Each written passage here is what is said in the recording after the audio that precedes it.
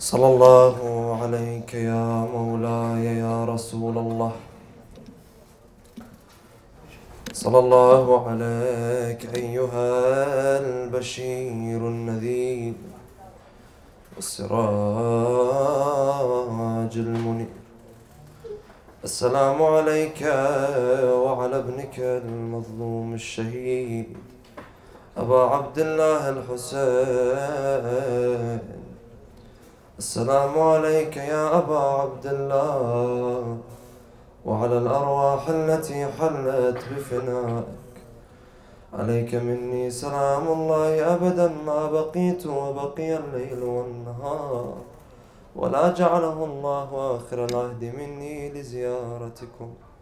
السلام على الحسين وعلى علي بن الحسين.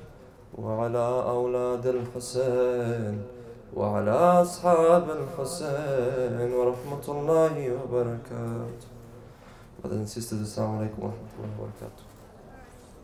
As you can see, a bit ill, a bit sick, no voice. So you have to bear with me tonight, inshallah, be a bit patient. and inshallah we'll begin with a loud salawat ala Muhammad wa ali Muhammad.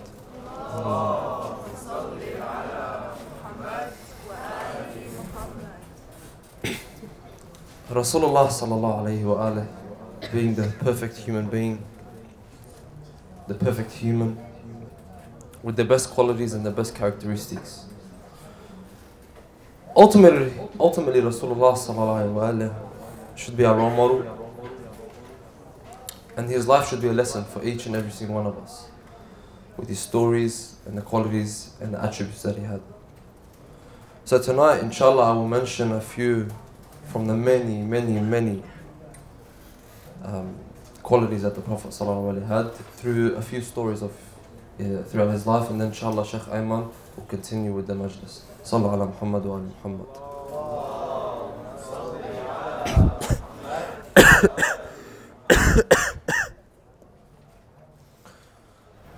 Firstly, we'll speak about inshallah how the Quran was brought down to the Prophet. The Quran has the physical aspect of it, the physical reality of the Quran. There's the physical reality, which is the Quran that we hold with each with each other. You know, we read Quran together, and the brother was just reciting Quran. This is the physical Quran right here. This one, physical Quran. Whereas the Quran, the essence of the Quran came down on the to the heart of the Prophet.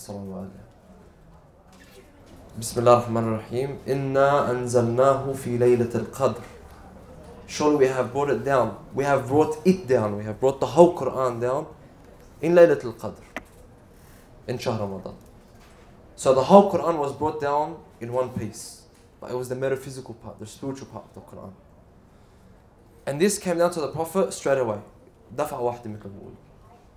Whereas the physical part of the Quran, when it came to, you know, this ayah, you have to come and بلغ this ayah, بلغ this ayah, you know, اليوم أكملت لكم دينكم حرمت عليكم ال- you know, once he wants to come and speak about specifics, he would wait for the particular thing to happen. Allah subhanahu wa ta'ala would wait for the particular thing to happen in history. So Allah subhanahu wa ta'ala will then order the Prophet, okay, Ya Rasulullah, now speak about this ayah. Now speak about this ayah. Now speak about this ayah. Oh, they're, they're burying the children alive. Speaking, speak about burying the children alive, the daughters alive. They're speaking about killing the innocent soul. Speak about now through the, Quran killing the innocent soul. So, Rasulullah came and he began to baligh. The wahi. How did the Quran come down to the Prophet Also two ways. There was the direct divine uh, connection, which was called wahi, which was directly from Rasulullah to Allah subhanahu wa ta'ala. Direct link. Rasulullah to Allah subhanahu wa ta'ala. Then you had the second way, which was through Jibreel, bil wasita. So there was an intermediate between the two. When there was an intermediate like Jibreel alayhi salam, it was easy. Allah subhanahu wa ta'ala would speak to the Prophet through Jibreel. Whereas when the Quran would come through the wahi, through divine, through the divine connection through uh, just Allah subhanahu wa ta'ala and Rasulullah, it was extremely hard for the Prophet. Reason being, Because, like we said a few nights ago, if my brothers and sisters remember, we said the human being is a composition of the body, the physical body, and the spiritual aspect, the soul. So when Allah subhanahu wa ta'ala is speaking to the Prophet, He's not speaking to the body of the Prophet, the physical body of the Prophet, He's speaking to the soul. And the, the soul of Rasulullah is the strongest souls of all souls, of all creation, of all mankind. So he's able to take more than any other human being. For example, just to you know bring it closer, this is a this is a cup of water. Yeah, let's say this holds 500 mils of water. 500 mils. So I put 500 mils. Can I put two liters of water in this? As much as I pour, it's gonna it's gonna fall out. Correct? Because it doesn't withstand, doesn't hold two liters of water. It's not because the water is bad. It's just physically, just doesn't. It's incapable of taking it. So, if I were to get two liters of water, a bottle of two, that, that gallon, and put two liters of water, would be able to take it in, correct? So, Rasulullah, his spiritual, his spiritual, the soul of Rasulullah was able to connect to Allah subhanahu wa ta'ala. But the physical body of ours isn't able to connect to Allah subhanahu wa ta'ala. The physical body of ours. So when the Prophet would be in that session of wahi, when he'd connect to Allah subhanahu wa ta'ala through wahi, he describes a companion that comes and asks him, he says, Ya Rasulullah, when Allah subhanahu wa ta'ala is speaking to you, when there's divine connection, how do you feel? He tells him, It's the hardest thing that I could ever feel in my life. What do you mean? He explains it to him. And the way he explains it, it's like, how can I explain something you've never felt before? It's like, for example, how can I explain to you how hungry I am? You could never understand how hungry I am, or how thirsty I am, or how sad I am, or how in love, how in love I am. You can't understand it. What I can do is I can give you examples. For example, I love her as much as your mother loves you. Oh, I gave you an example. You know, I came and I brought it closer to your mind. But the essence of my love, I can't explain it. But I can explain to you a mathematical equation 2 plus 2 equals 4. Because that's outside. Whereas when you're talking about inside, inside myself, the inner, the inner meaning, I can't speak about how thirsty I am and how hungry I am. And I also can't speak about how painful this is. When I'm in pain, when I'm going through pain, I can't explain how painful this is. But I can explain it to you through examples. Oh, it's like, you know, someone hitting me with, you know, a shovel, for example. You know? Oh, that's how it feels like. So, I can't explain to you the reality of it. So Rasulullah, when he, this companion comes and asks him, how did you feel when Allah subhanahu wa ta'ala was directly speaking to you? And he gives this example. He says, it was as if, and imagine this brothers and sisters, put yourself in this scenario. It was as if I put my ear, do, do you guys, have you ever guys watched these movies, the old movies with the massive bells, the big bells, with the ma- massive metal bells, you know, that come and hit it and they're ding, ding. That, everyone understand what I'm saying? Yeah? Okay. So it says that wahi to me was like me putting my ear on that bell and the strongest man on earth hitting the bell from side to side. That's how wahi was to me. It would make me shiver. It would make me cold in the, in the, in the hottest of nights. It would make me cold. It'd make me shiver. It would physically drain me. Physically drain me. Not because Rasulullah is weak, like we said. It's not because this bottle, this this this cup isn't is weak. It can't hold two liters. It's the physical the physical aspect of this cup is 500 mils. It doesn't hold any more. Rasulullah is the maximum capacity of perfection as a human being. But the physical body itself, if you were to put fire on it, if you were to put fire on this physical body, it's gonna burn. It's gonna burn unless you put something to you know, put a bar- make a barrier between your hand and the fire, it's going to burn your hand. It's the physical, it's cause and effect, the law of causation, cause and effect. So, Rasulullah comes and explains to us the pain that he used to go through when he was taking this wahi. But he says also, and this is the quality that I want to touch on. He says, if it wasn't for my tawakkul in Allah subhanahu wa ta'ala, I would never be able to take in wahi. It was the tawakkul him being able to put his hand, metaphorically speaking, not literally, his hand in the hand of Allah subhanahu wa ta'ala and have Allah subhanahu wa ta'ala always be with him, that's what kept Rasulullah standing. That's what kept Rasulullah being, being able to be patient. So tawakkul Rasulullah teaches us it through the hardest of things in his life as, a, as physical pain. Then I want to go to the second point, which was patience.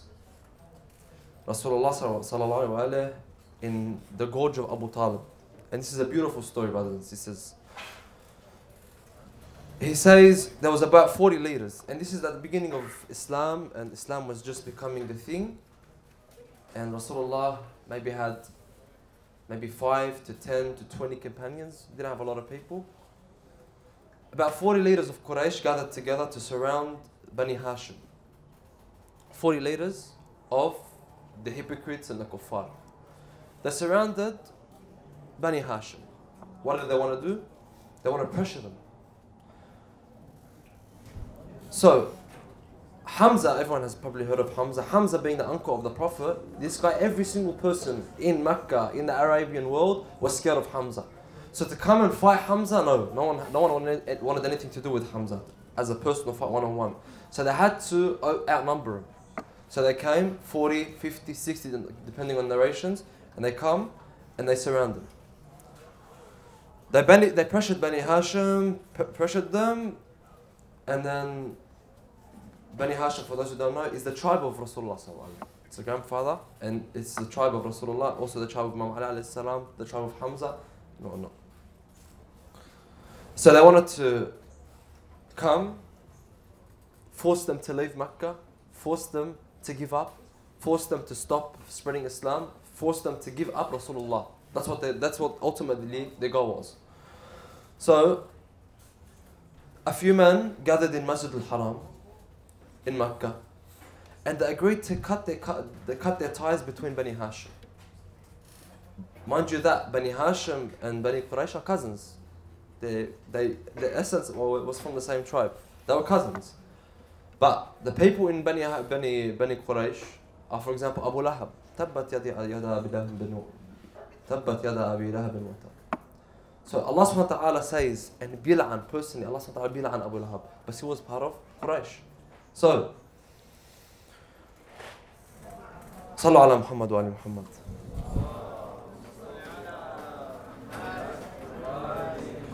So he comes and Abu Lahab comes and he says, you know what, I want to pressure Rasulullah. So what I'm going to do is I'm going to cut all ties from the Arabs and Rasulullah and Bani Hashim.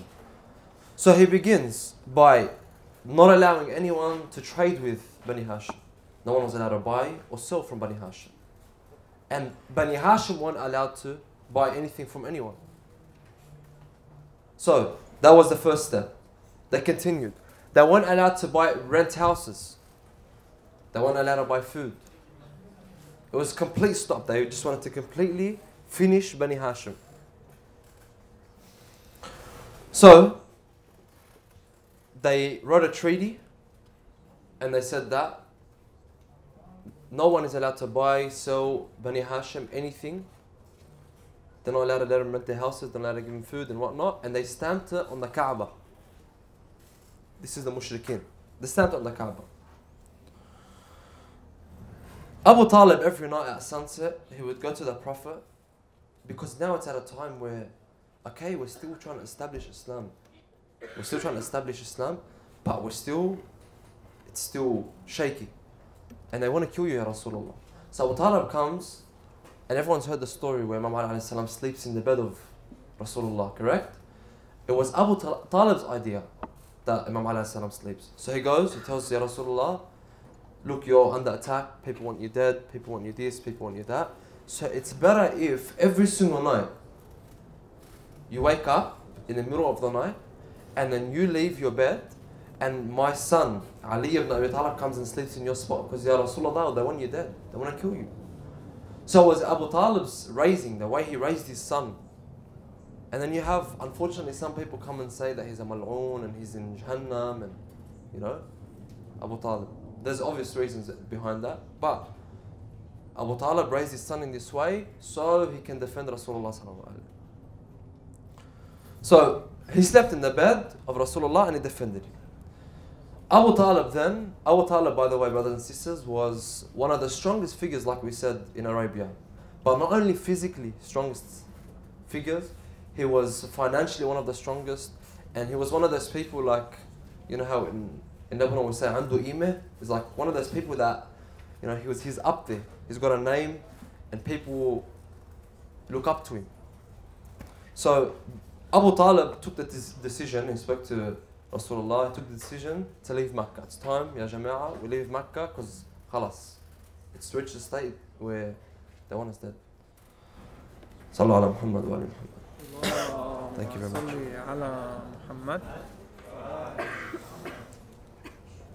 Because Abu Talib felt like every single hour we stay here, every hour we, remain here, there's going to be a fight, there's going to be a war.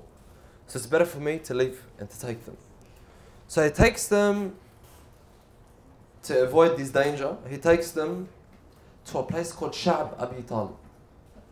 And this was located, according to Hadith, around 500 meters to a kilometer outside of Mecca. So he takes Rasulullah and his family and a few other people, a few other companions, and they set up tents and they began to live to live in exile. And this lasted, brothers and sisters, for around four years. Four years they, they lived in this situation. And inshallah, I'll explain Allah the depth of this this situation they were in, the depth of and how hard it was for them. Sayyidah Zahra alayhi salam, according to different hadith, she was six or seven years old at that time when they were exiled. When they were exiled.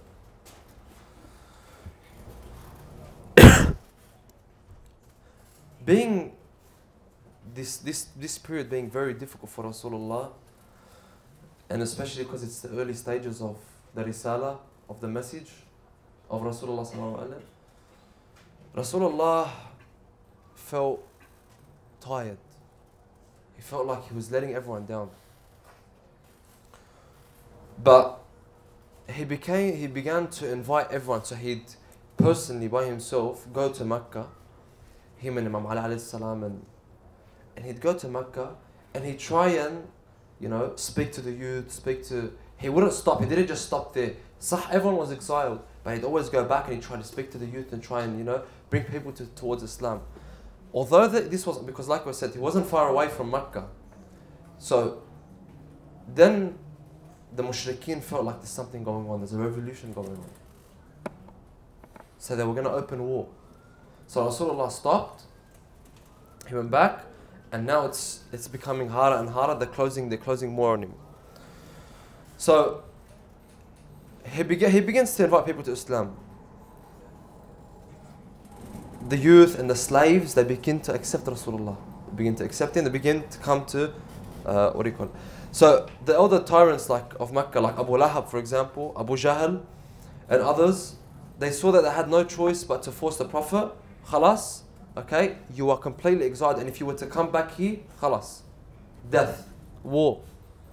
So Rasulullah now, he leaves completely and leaves the city. Now think about it. Think about this. They were exiled for four years and they were in Mecca. Mecca is a desert.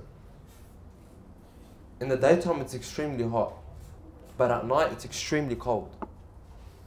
Extremely cold. And for those who have been to Umrah or to Hajj, they will understand what I mean. It's very cold and it's very hot as well. Rasulullah had to be exiled and had to accept being exiled, not only for himself, but for his children and for his companions and for his young little Fatima alayhi salam. Had to accept her and they had to live in these in, in these extravagant, hard conditions. So they done so and they lived in those conditions. Rasulullah would always find that Sayyidah Zahra alayhi salam, by the way, brothers and sisters, it was at this time where Sayyidah Zahra alayhi salam was called Ummu Abiha, the mother of her father. It was at this time. Because Khadija, because they were in such a financial hardship at that time, because everyone was closing off the Arabs, they wouldn't let them do anything, they wouldn't let them buy anything. So anytime they'd wanna, you know, buy, for example, for example, they'd wanna buy water, they'd wanna buy food, they'd wanna buy flour to make bread. Let's say it would cost a dollar, they'd increase the price to ten or fifteen dollars for Bani Hashim, so they can break them. They'd increase the price, and if Bani Hashim were to sell something, they'd reduce the price by ten or fifteen times. So someone would ask a question: Where did Bani Hashim get all this money from to be able to live for four years? Aslan, how would they live for four years? Even at, in the black market, they, they didn't want uh, Abu Lahab and the mushrikeen, the hypocrites, didn't want them to live through the black market. Imam Alayhi salam would go every day in the black market and try and buy food and whatnot. And when they found out, they almost started war as well. But a question is, how did they buy all this stuff? How did they live for four years? Through the wealth of Khadija salam. That's why the hadith says that if it wasn't for Abu Talib and Khadijah if it wasn't for the wealth of Abu uh, of, of Khadija and the strength of Abu Talib and the sword of Ali, no Islam. Wouldn't be any Islam. Islam was built on these three. Islam was built on these three. On the courage of Abu Talib, on the wealth of Khadija alayhi. Because if it wasn't for the wealth of Khadija, who's gonna buy bread for 15 times the price in mid Arabia in that, in that time? But Khadija alayhi was known to be one of the wealthiest, if not the wealthiest woman, if not the wealthiest person in Arabia at the time. So she was able. A couple of years pass. Sayyidah Khadija alayhi salam passes away. And Abu Talib also passes away in the same year. And this is getting harder and harder by the Prophet. If you realize, brothers, the, the events that are occurring, it gets harder and it gets harder and it, get, it gets harder. It doesn't become easier for the Prophet. Sayyidah Zahra alayhi salam in narrations, like we said, she's around six or seven years old. And her mother's passed away.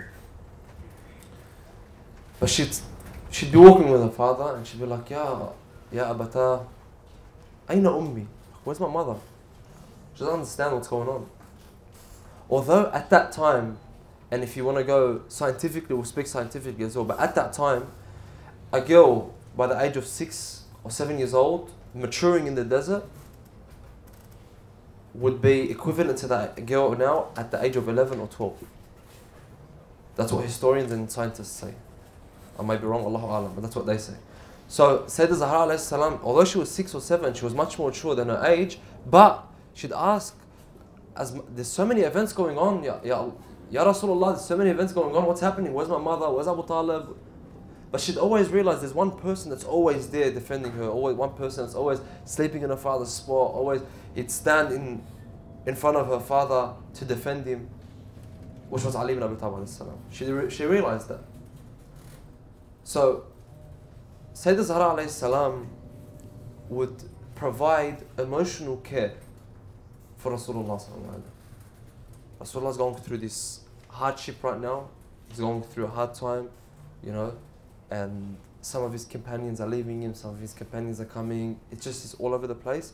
And then Sayyidah Zahra salam would be the one to go and calm him down and talk to him and Ya Abata, what do you need? I'm here for you. She'd wipe his face, she'd wipe his head, she'd wipe his teeth. Anything you need, Wallah, I'm here for you. You know? So she she was the emotional basis of her father at that time. Because Rasulullah was a leader. He had to show, he had to, had to be a leader. But when it came to Sayyid- Sayyidina Zahra alayhi salam, he would open up to Sayyidina Zahra alayhi salam. Ummu Abiha. This wasn't just like one of those, you know, dalla ibni, I'm binti type of things. No, no, no. This was this is reality, brothers and sisters. So under under extreme circumstances, Rasulullah is able to nurture and bring up a daughter who becomes worthy of the Prophet, kissing her hands says Zahra becomes worthy of Rasulullah kissing her hands. Hala one might come and say, in Wallah, he's kissing her hands, that's his daughter, it's emotion, it's love. So yeah, and yeah, Animak, it's his daughter. But kissing the hands is something big, especially back then in Arabia. When you were to kiss someone's hands, yani, this person deserves the, yani, this, yani, he deserves it. Even if it's your daughter, even if yani, someone might come and ask, why didn't he do that to all his wives? Rasulullah sallallahu alayhi why didn't do that to his wives? But it's his wife as well. But he didn't do that to his wives. So Rasulullah kissing the hands of Sayyidah Zahra salam also is a message. So Sayyidah Zahra salam elevated. She reached stages and states, levels where no other human being could reach, especially at, at her age. In some narrations, she passes at, at 18. She's married at 18. In some narrations, at 25. But the young age of hers, still, the qima, the level, the spiritual level, the level in Jannah. Sayyidina Zahra alayhi salam, ليس لها مثيل. They ask, they ask Rasulullah, why did they call her Fatima? He says, لأن فط, Allah subhanahu wa ta'ala فطم الناس عن معرفتها.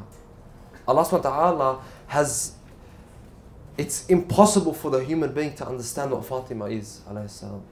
To reach the, the level of Fatima alayhi salam. That's why there's another hadith that if it wasn't for Ali ibn Abi Talib alayhi salam, there would be no kufu for Fatima alayhi salam. And if it was, means there would be no equal to Fatima alayhi salam. There would, yani Sayyidah Zahra, in, in other words, would never be get, get, get married in her life if it wasn't for Ali ibn Abi Talib alayhi salam. And opposite. And if it wasn't for Fatima, Imam Ali would never get married to a woman of that level. Of course, Imam Ali salam married other women, but to his haqq, to his right, no one, uh, there's no one that reaches the level of Imam Ali salam like Sayyidina Zahra alayhi salam. No one. Sallu ala Muhammad wa ali Muhammad.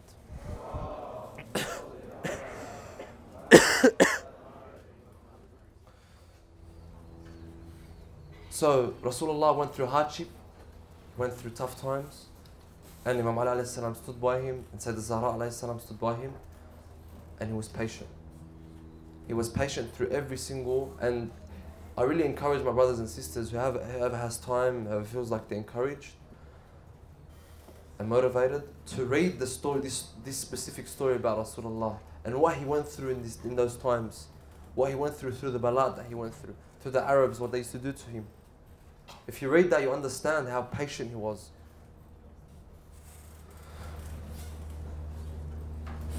Now we'll go to another story. and This is the third story, inshallah, which is the story of Imam Ali alayhi salam and Sayyidah Zahra alayhi salam. And I want to talk about the, the humility of Rasulullah and how he gave this beautiful, magnificent daughter to this beautiful, magnificent man. In what way? What was the manner? Like we said earlier, Sayyidah Zahra alayhi salam is the daughter of a king now. Rasulullah is a king. After they've finished the, being exiled and whatnot, it becomes a king. Hada, inshallah, we'll speak about it in a couple of minutes. But Sayyidah Zahra alayhi salam is the daughter of this Prophet, Nabiullah, you know, hierarchy, he's up there. So a person would come and say, Wallah, Sayyidah Zahra alayhi salam deserves X, Y, and Z. You know, but the ahsab she needs cars, she needs houses, you know what I mean? In our day and age, you know. Then she needs camels and horses and whatnot. Someone might come and say that because of, you know, the level she's on. But it was on the contrary. Sayyidah Zahra alayhi salam looks that I want Allah subhanahu wa ta'ala. That's all. And I feel, I, mean, I realized that when Rasulullah, my father, alayhi, was going through hardship, there was one man that stood by him, which was Imam Ali alayhi salam. One man. Sayyidah Zahra salam was wanted by many.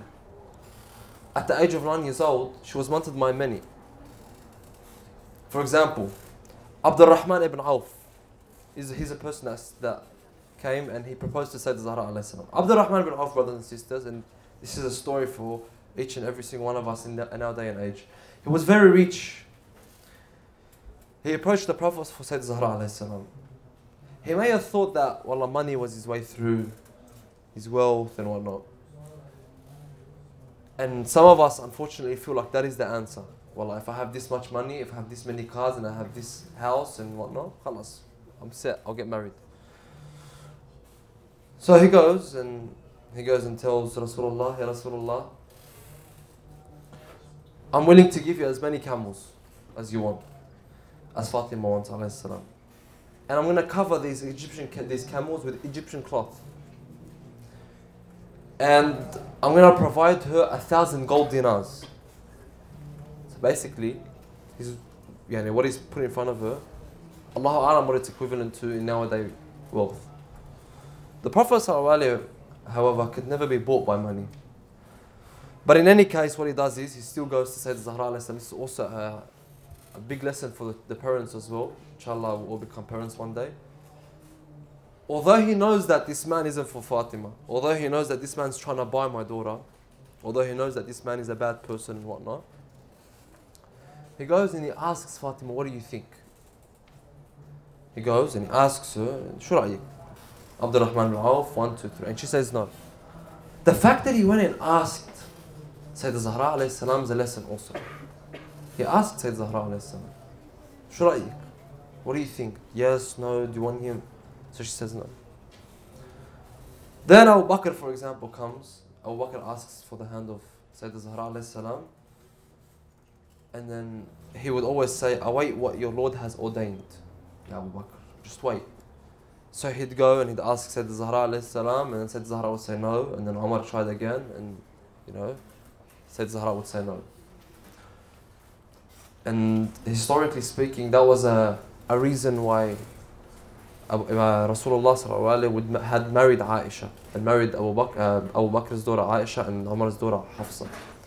Because Arabian tradition and culture back then was if you give تعطيني بنتي تعطيني بنتك بعطيك بنتي you know? if you give me your daughter I'll give you mine so if you marry my daughter if you mar- if I marry your daughter you marry my daughter That's how it is. So they all said, Oh, Ya Rasulullah, come marry my daughter so nahna we can marry Fatima. Marry Aisha so we can marry Fatima. Marry Hafsa so we can marry Fatima. But she had nothing, she, she wanted nothing to do with it. And then a few men come, a few of the companions of Rasulullah and, and friends of Imam Ali salam. They come to Imam Ali salam and they say, Ya Ali, what are you doing? روح روح احكي ثاني روح. Go speak to Sayyid Zahra, go speak to Rasulullah, tell him you want his daughter, do something. Imam Ali alayhi salam says, what do I have? I have nothing to offer. And this is exactly how Rasulullah was, by the way. He was very, he had the humility. What can I give Fatima alayhi salam? He knows that Sayyid Zahra alayhi salam is, she's up there. What can I give Fatima? He says, I only have three things. My sword, my camel, and my shield. That's all I own in this world. Imam Ali alayhi salam. So, the companions kept on encouraging him, encouraging him. The Prophet won't ask anything of you. They tell him, you know, trying to, you know, give him confidence and motivate him and whatnot. Imam Ali salam is قالع باب خيبر and you know, the courageous one and everyone from fucking Halak Mamale, he's strong and whatnot. When it came to this specific topic, he was shy, he was khajul. How am I going to speak to Rasulullah about his daughter? I have nothing.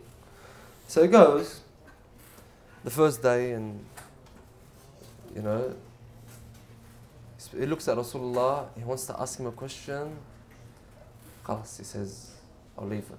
Second day, goes, you know, looks at him, also he leaves it. Then third day comes, and he goes and he's looking at Rasulullah, and then Rasulullah, sallallahu alaihi, because he doesn't want to put him in that situation, he comes and says, Ya Ali, do you have a question? Do you have anything to, you want, you want to say to me? Do you want fishy. Rasulullah knows, of course, he knows what he wants. يعني. It's not something hidden. He knows what he wants. But he goes, شو بدك شيء في شيء على راسه thinking of something and he tells him yes يا رسول الله شو بدك the prophet knew. But he tried to make it easier. He told him have you come to talk to me about my daughter Fatima? He opens the door he, op- he comes and speaks to me he tells him do you want to come and speak to my daughter? Is that what you're coming here for? Look at the humility of Rasulullah, by the way. Nowadays, if a father were, if you were to go and marry, want, want to marry a, a, a sister from, in the community, I don't know about here, like I said, I'm always speaking about Sydney or Lebanon. I don't know anything about Canada. Alright, Sydney or Lebanon. If you went to go speak to a girl, unfortunately, her father, مثل ما بقول in Arabic, بيعمل عنتر, you know? He sits like this, you know, ضل doesn't say, doesn't laugh, doesn't smile, nothing. شو بدك? You know, what do you want to come? What do you want? What do you want? You know, and try and make him laugh. If you make him laugh, you've won his daughter. But try and make him laugh. You can't make him laugh. It's just like this, and it's like he, uh, wa'iyadhu billah, it's like he is God sitting there, you know, and he's about to give rizqah. That's, that's how he acts. Whereas Rasulullah comes and says, La, ya, ya Ali, badak binti, is that what you're coming here for? Is that why you, is that why you came here for? And he tells him, Naam, Ya Rasulullah, that's why I'm here. That's why I'm coming here. And he says, okay, shouldn't. Let me just go ask said Zahra alayhi salam. Like we said earlier, Sayyidina Zahra alayhi salam said no to every single person. Whereas when it came to Ali ibn Abi Talib, what she do? She stayed silent. And which was a sign of her acceptance. And Rasulullah says, Sukutuha alamatu ridaha. Her silence is a sign that she's accepted you, Ali. So he goes and he says, Do you have anything to give her? And he tells him, La wallah ya Rasulullah, ma andi shay." He told him, What about the shield I once gave you? He says, It is with me, but it's, it's not worth anything. Yani. It's worth 400 dirhams. And then Jibreel comes and he tells him, Ya Rasulullah, what are you waiting for? I have already married Ali and Fatima in the heavens. Just marry him on the ground. What are you waiting for? Yalla, Ya Rasulullah. They're already married in the heavens. So yalla, do the write, write the يعني اكتب كتاب يعني. And then he comes and tells him, Ya Rasulullah, this is who I am, this is what I have. And Sayyidina Zahra alayhi accepted, she was silent. And Imam alayhi said, and they continued. So Rasulullah comes to Ali ibn Talib, he says, Ya Ali, keep your sword and keep your camel. But take your shield to the market and sell it for whatever it's worth. That's all he asks. For that's for uh, that's the mahar for Sayyid Zahra alayhi salam. 400 dirhams, which is equivalent to 432 dollars approximately nowadays. Approximately around 432 dollars. So the Prophet began to iktub al and Imam alayhi salam began to praise Allah subhanahu wa ta'ala and thank Allah subhanahu wa ta'ala for what has gone. And then they finished the Katb Kitab. And then you go, if you were to enter Halla, the house of Ali ibn Abi Talib, this is what you find.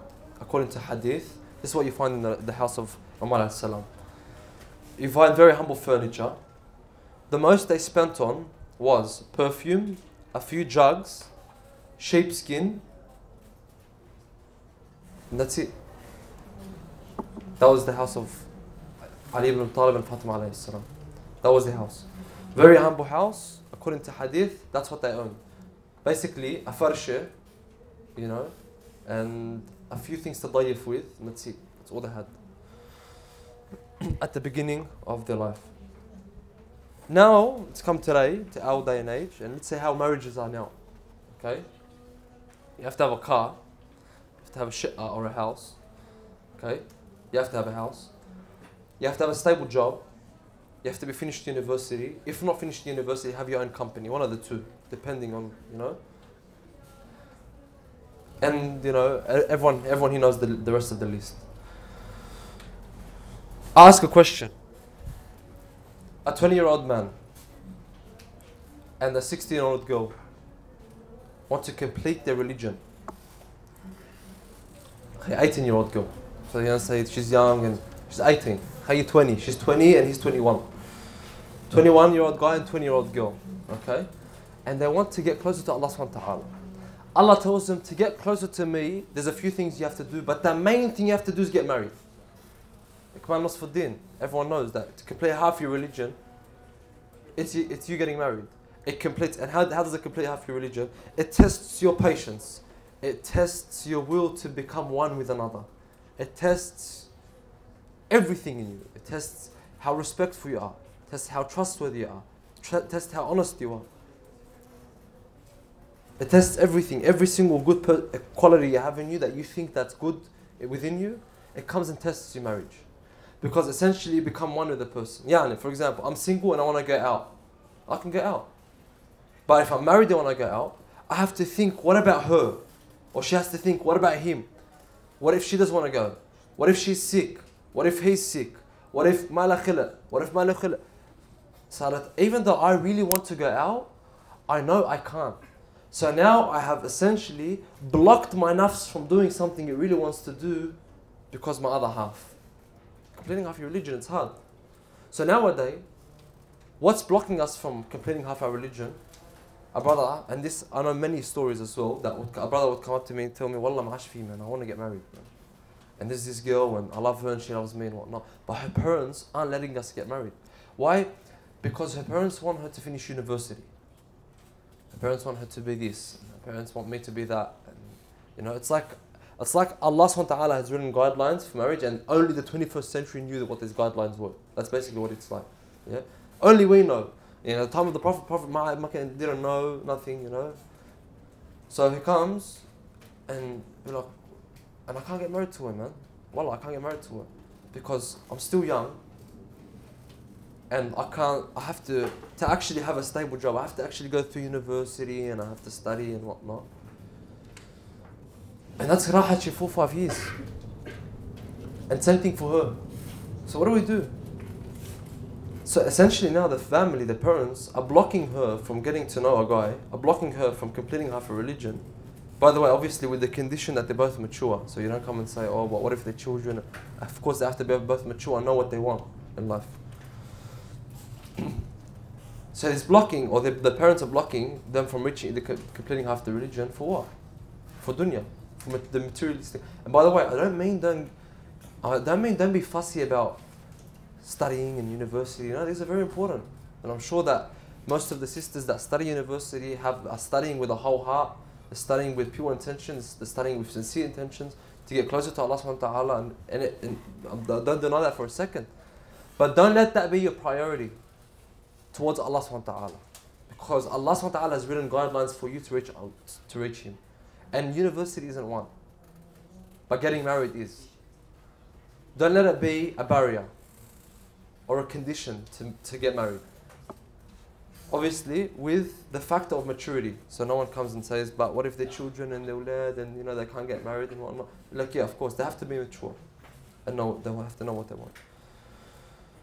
So Rasulullah was very in this in this aspect, he was very he portrayed the concept and the quality of humility through letting his daughter, Sayyidah Fatima salam, get married to Imam salam, but with him actually coming and opening the topic. Him coming saying, Ya Ali, inti jayye, badak you know. Contrary to our day and age. Sallallahu Muhammad wa Muhammad.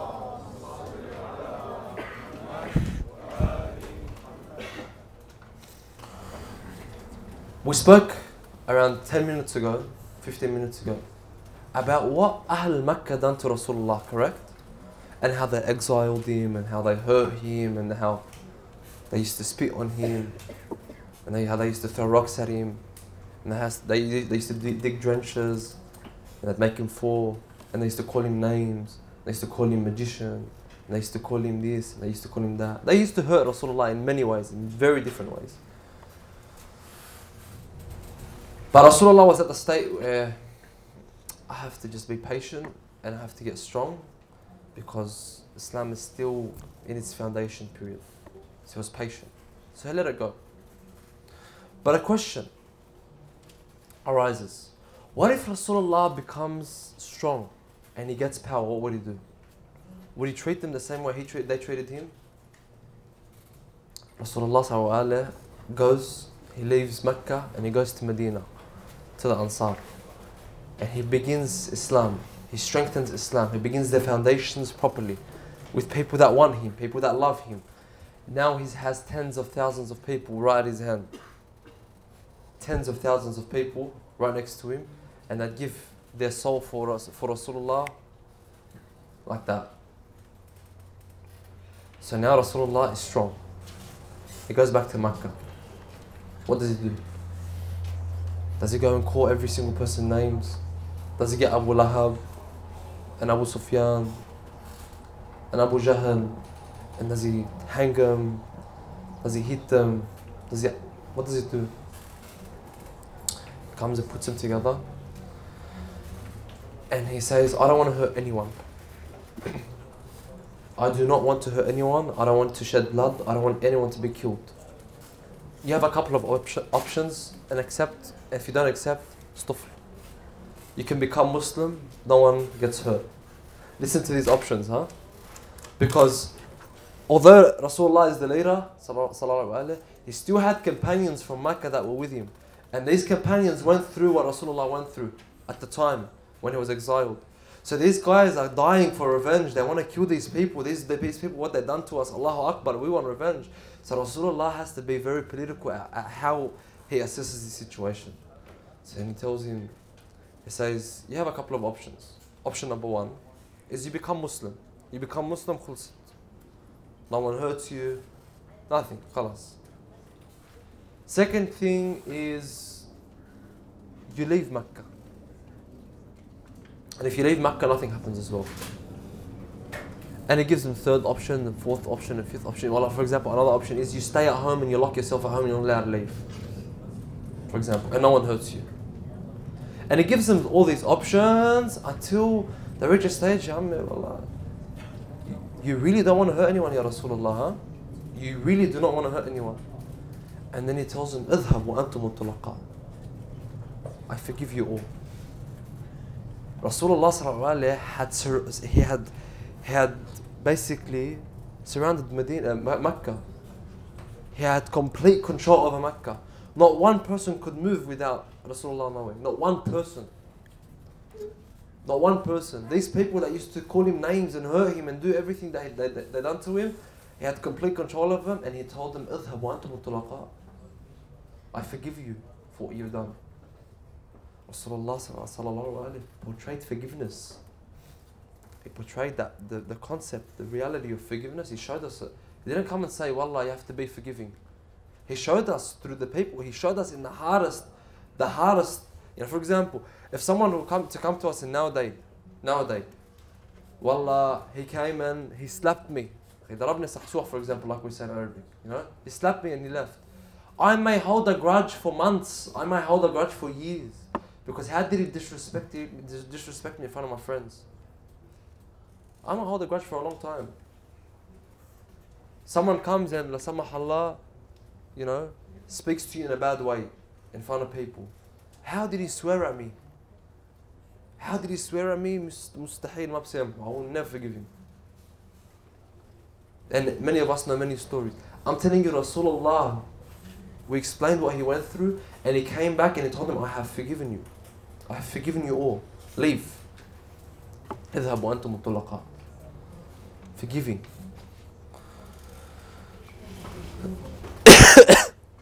and then a final story, and I will conclude with this, inshallah. Is that there was a war, and Rasulullah had an army, and the composition composition of the army was Al Ansar, which was the companions from Medina, and the people that came from Mecca.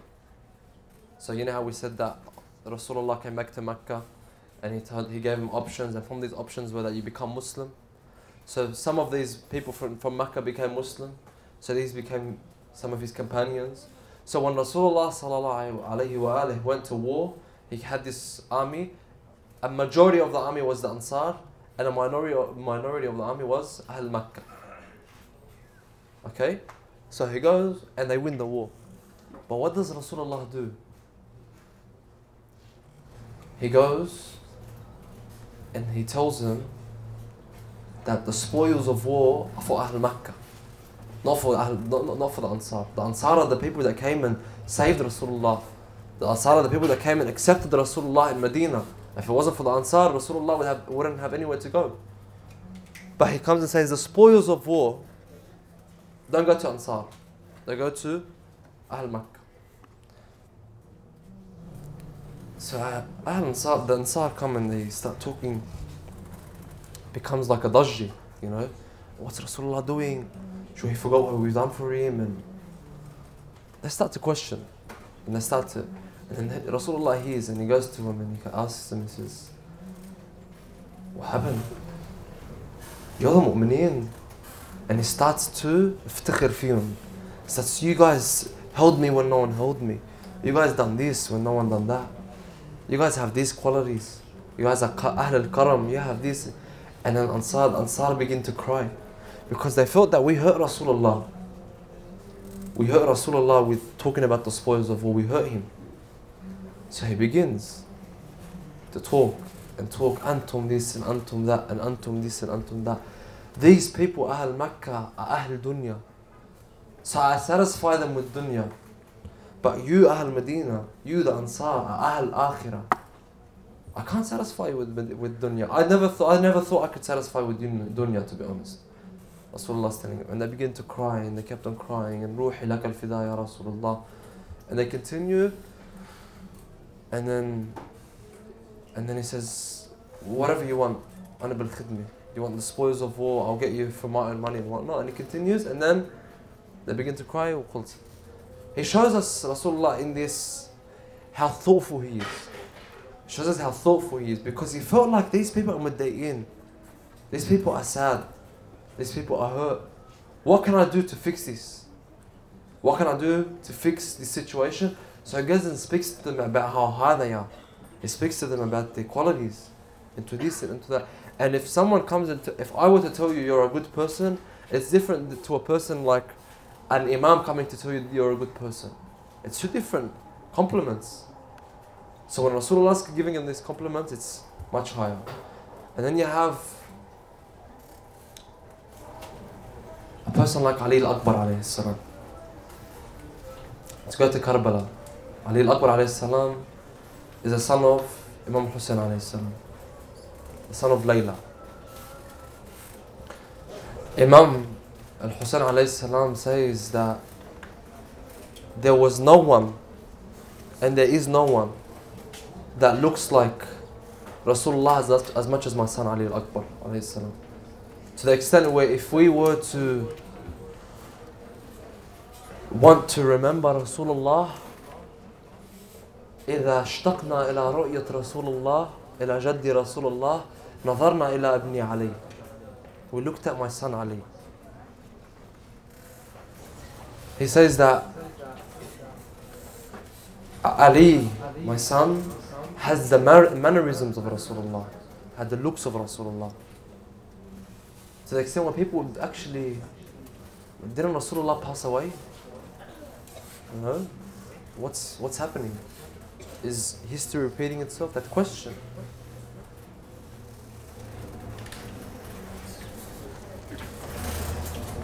يا صاحب العصر الفؤاد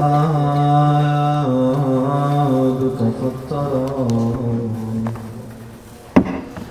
يا صاحب العصر الفؤاد تفطرا لابن الحسين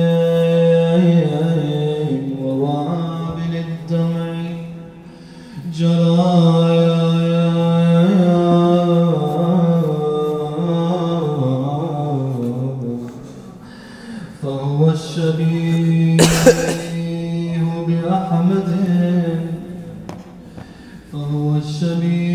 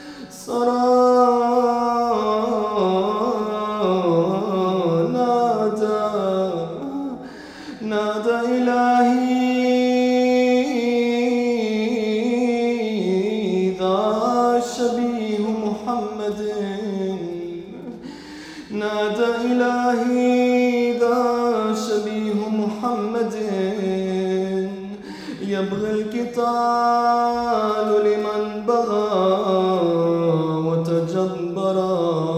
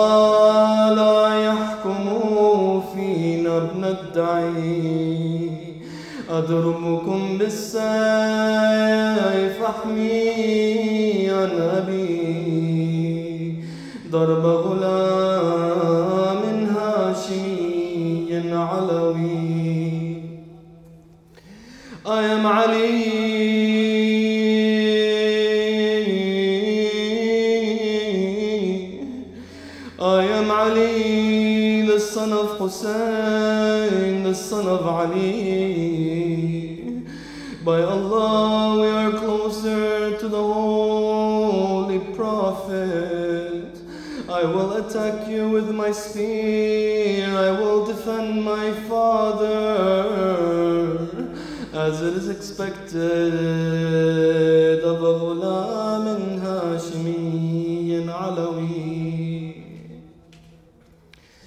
ومضى علي للجهاد مسارعا ومضى علي للجهاد مسارعا خير الملاحم في الجهاد. خير الملاحم لكن شكا ظم الفؤاد لوالد قد قضى أحشاء الظما والثرى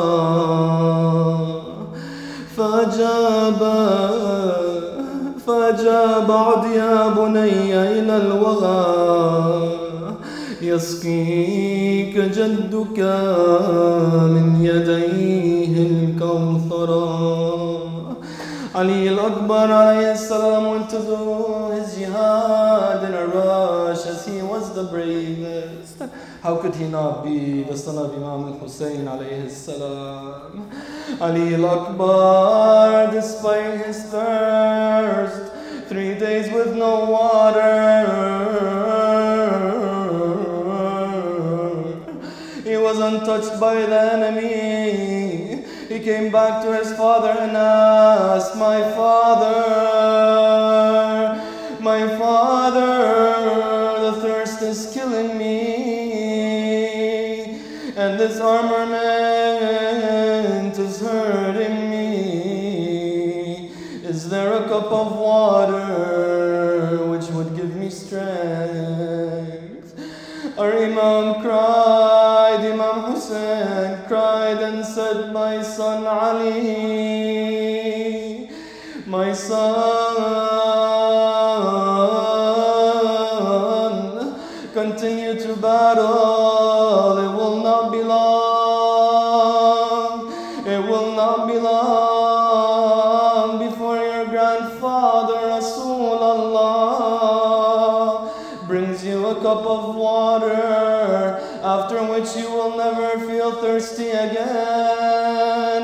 again. Oh, my son,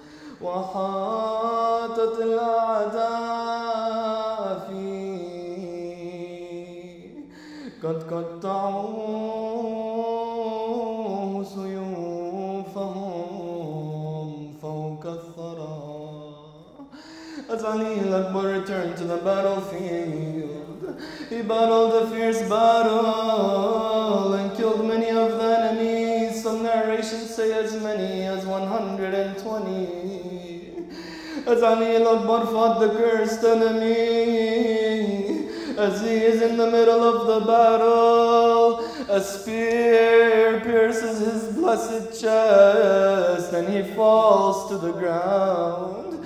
As he falls to the ground, it breaks and leaves the metal in his chest.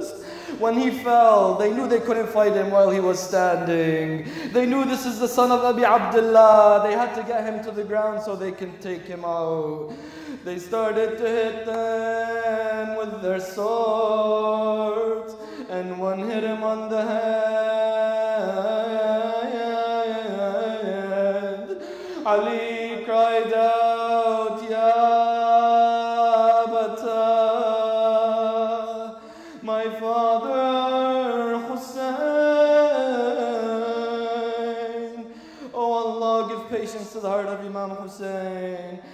Time one of the companions or the family members was about to leave this world, they called out, Ya Hussein.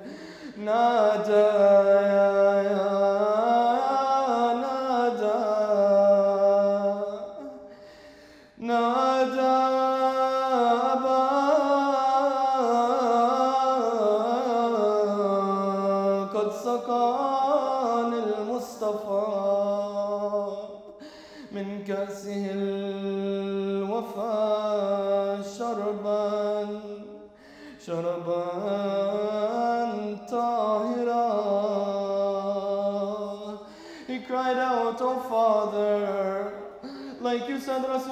has quenched my thirst. And he says he is waiting for you. فأجابه السبت الشهيد ملبيا وراه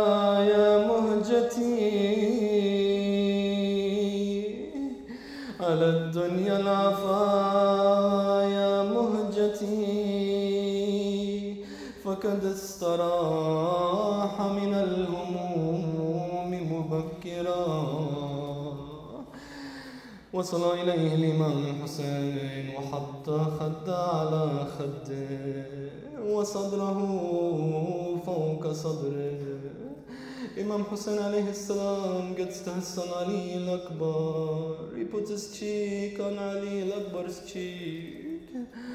He says, oh, oh son,